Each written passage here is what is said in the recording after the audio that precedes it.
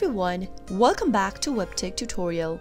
In today's video, I'm gonna guide you through how to yellow light on iPhone. Watch the video till the end and don't forget to subscribe to our channel if you've not yet. Also, press the notification bell icon so that you'll never miss another update from us.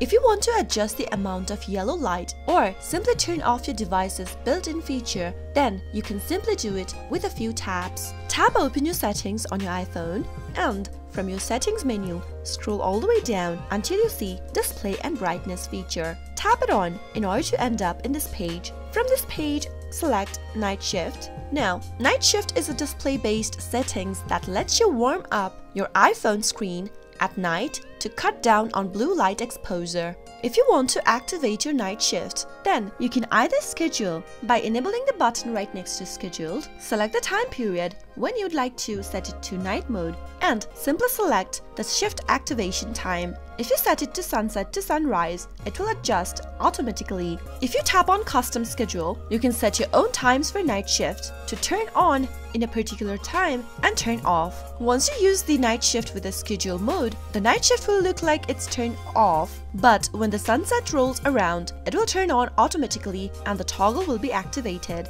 If you want to use it manually, tap on manually enable until tomorrow toggle button and that is how you can change your iPhone to night shift with a yellow light. You can also adjust the color temperature at the bottom by dragging the slider. That is how you can easily turn the yellow light on and off of your iPhone by activating the night shift or turning it off.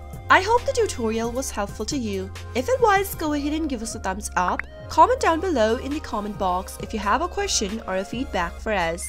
I'll be back soon with more tutorial videos like this. Thank you for watching.